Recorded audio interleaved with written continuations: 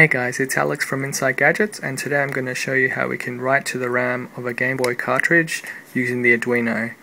I've got F1 Race here and I'll just start a new new game.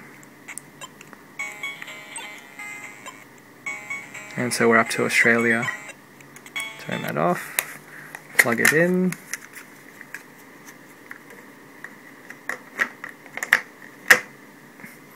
And just in BGB just open up the save. So we're up to Canada in this one. Close that off and we'll run the Python script. That will transfer it over to the Game Boy cartridge. Shouldn't take too long.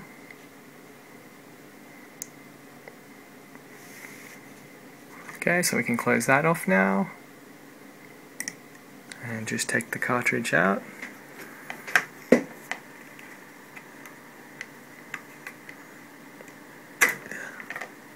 And plug it in.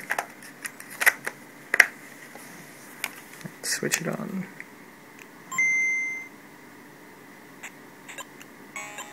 And yep we're up to Canada again. Thanks for watching